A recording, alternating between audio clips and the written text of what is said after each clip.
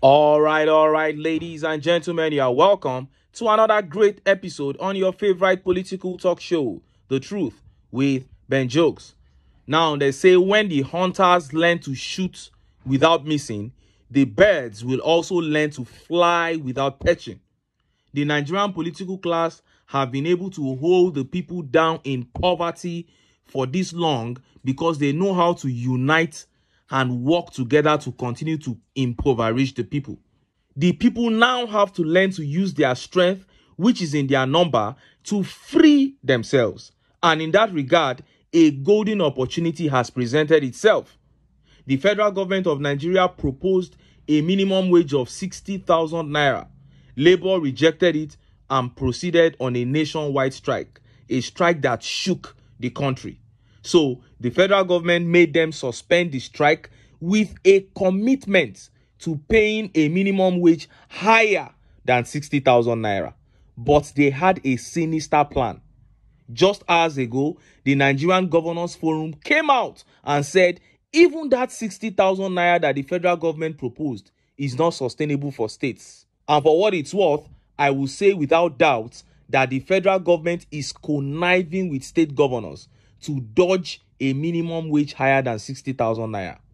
So, governors, the same governors who are on life pensions, the same governors whose salaries are humongous, are now coming out to say that states cannot pay 60,000 naira to civil servants to make it look as if it's not Tinubu's fault, as if it's governors that are now blocking it. And as soon as that communique came out, Nigerians exploded with rage and I am telling you, this is an opportunity to shut everywhere down.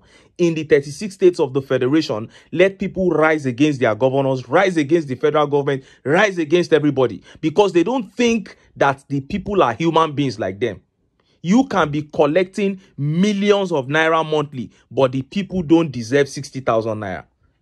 It's not as if there is no money to pay, but they want to have enough money to furnish their extravagant and useless lifestyles. Before I show you their statements and how Nigerians reacted, let me quickly show you this video. Is the Obidient movement, is it bigger than the Labour Party? Oh, far, far bigger. Far, far bigger. It's bigger because than the Labour Party. It is. It is. So, because it is a movement of his own that have a life of his own. What they are interested in is good governance. Even if the Labour Party is doing something that is wrong, they are ready to challenge it. Let me go further.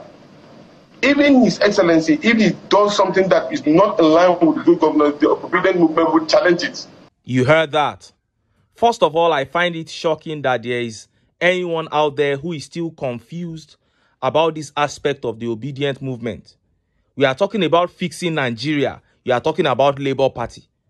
The movement is clearly a coalition of Nigerians who have been yearning for good governance and they found a presidential candidate who epitomizes their cravings and they just named their ideology after him.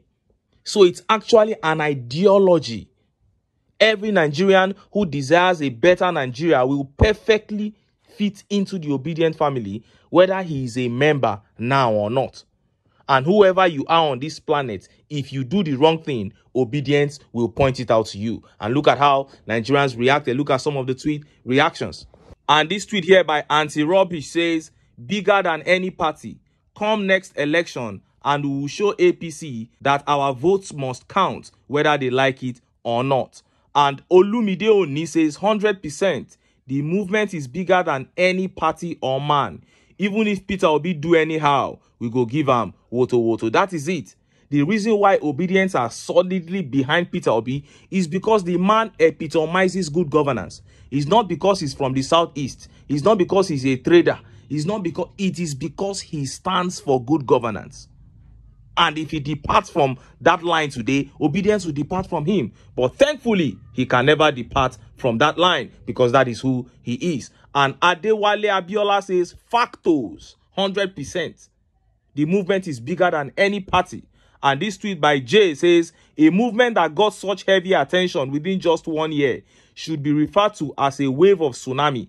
Even Alex Otti would not have won in Abia State without the Obidient movement. That is that is the whole truth.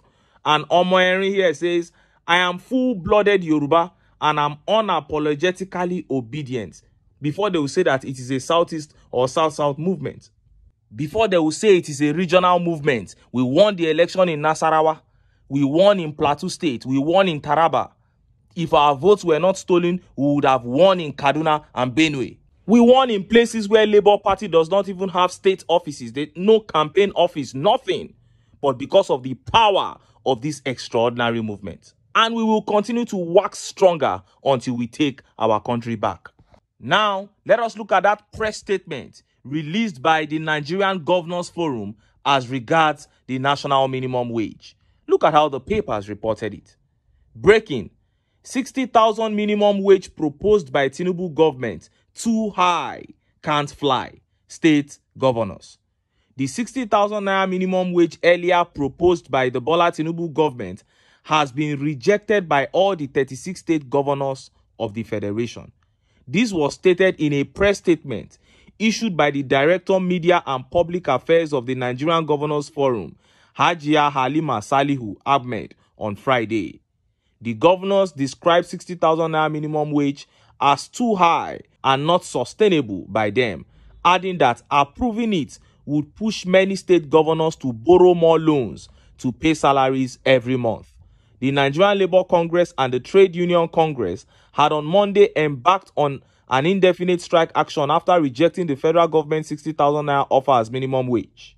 However, the labor union relaxed the strike for one week to give room for further negotiations with the federal government, which had promised to increase the wage from 60,000 naira. The statement read in part, the Nigerian Governors Forum is in agreement that a new minimum wage is due. The forum also sympathizes with labor unions in their push for higher wages. However, the forum urges all parties to consider the fact that the minimum wage negotiations also involve consequential adjustments across all cadres, including pensioners. All things considered, the Nigerian Governors Forum holds that the 60,000 naira minimum wage proposal is not sustainable and cannot fly. It will simply mean that many states will spend all their FAC allocations on just paying salaries with nothing left for development purposes. In fact, a few states will end up borrowing to pay workers every month. We do not think this will be in the collective interest of the country, including the workers. We appeal that all parties involved, especially the labor unions, consider all the socio-economic variables and settle for an agreement that is sustainable, durable, and fair to all other segments of the society who have legitimate claim to public resources. So you know that every other person in the society has legitimate claim to public resources. And you know that it makes sense to be fair to them. Yet you put yourself on life pensions. Yet you collect close to 12, 13, 20 million naira monthly as your salary. Yet you buy mansions for your girlfriends. Yet you take your girlfriends to Dubai with state funds. And look at how Nigerians reacted. Look at some of the tweet reactions. This tweet by Omoya teacher says, the complete breakdown of the allowance and salary of the state governors in Nigeria after the new minimum wage increase in 2020. 1. Monthly basic salary 2,223,705. Leave allowance 222,370. Vehicle loan 400% of annual basic salary. Hmm. End of tenor gratuity 6 million 671,115. Total monthly salary of a governor in Nigeria is capped at 11 million 540,896. The same governors are saying 60,000 naira minimum wage is too high and can't fly. And when they put 11 million here, you should know we are talking about 100 million. Meanwhile, the whole state allocation, more than 50% of it still goes into their pocket. These are colleagues of Yaya Bello, the man who paid the school fees of his son in advance. These are people who go 36 months without paying salaries. And this tweet by Wawulensia says, just imagine the kind of country we found ourselves in. There are same people who embezzle billions of naira monthly. Yaya Bello embezzled 80 billion naira and nothing was done till today. And they can't pay just 60,000 naira. This country is like Z World. extraordinary every day. Chai. And this tweet by Jalo Waziri says, Nigerians aren't ready yet. When they are actually really ready, they will hold those governors' feet to the fire. Nigerian governors are viciously callous. And Olati here says, all the 36 state workers should unite and fight for whatever is agreed as a national minimum wage. There shouldn't be any disparity between the federal and state workers. Mm. Now, like I said at the beginning of this video, this is an opportunity for Nigerians to ask for a reduction in the cost of governance. Shut the nation down, shut the 36 states of the federation down, and say we as labor are ready to take 40,000 naira as minimum wage. In fact, let the minimum wage remain at 30,000 naira that it is. But all government officials must also be on minimum wage. No more convoys. If we see any government official driving with three, four cars, we as Nigerian people will attack you. Let us all become normal human beings. Let us run our country the way normal people, sane people run their countries. It is a democracy, and in democracy, we are all equal stakeholders. This is a big, big opportunity for the people of this country to start that mega protest.